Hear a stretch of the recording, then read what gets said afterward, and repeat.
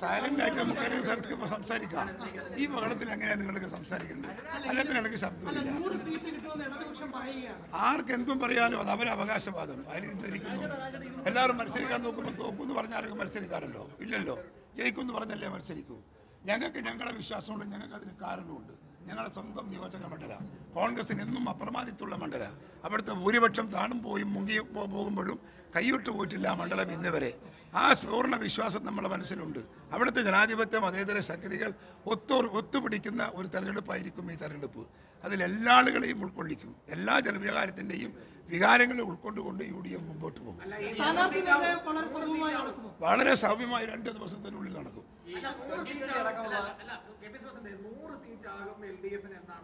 അതായത് അത് L D എഫിന്റെ അവകാശവാദം. അത് അവർക്ക് ഉന്നയിക്കാനുള്ള അധികാരമില്ലേ? അവരെ ഉന്നയിച്ചോട്ടെ. ജനമല്ലേ വിലയിരുത്തേണ്ടത്? വോട്ട് ജനങ്ങളെ കയ്യിലല്ലേ? അവരല്ലേ തീരുമാനിക്കേണ്ടത്? നൂറാക്കണോ തൊണ്ണൂറാക്കണോ തൊണ്ണൂറ്റഞ്ചൊന്നാകെ തീരുമാനിക്കേണ്ടത് ഞാനും ജന അദ്ദേഹവും അല്ലല്ലോ. വോട്ടേഴ്സാണ്. വോട്ടേഴ്സ് തീരുമാനിക്കും. ഞങ്ങൾക്ക് ഞങ്ങളുടെ വോട്ടേഴ്സിനെ കുറിച്ച് ഞങ്ങൾക്കറിയാം. തെക്കാക്കര വോട്ടേഴ്സ് എവിടെയാണ് നിൽക്കുന്നതെന്ന് കഴിഞ്ഞ കുറേ കാലങ്ങളായി രാഷ്ട്രീയത്തിലുള്ള എല്ലാ ആളുകൾക്കും അറിയാം. മാധ്യമ സുഹൃത്തുക്കൾക്കും അറിയാം. അവിടെ അതിന് പോർന്നേൽക്കാവുന്ന ഒരു സംഭവവും യു ഡി എഫിന്റെ ഭാഗത്തോ കോൺഗ്രസിന്റെ ഭാഗത്തോ ഉണ്ടായിട്ടില്ല. അതുകൊണ്ട് തന്നെ നമ്മൾ ആത്മവിശ്വാസമാണ് പൂർണ വിശ്വാസം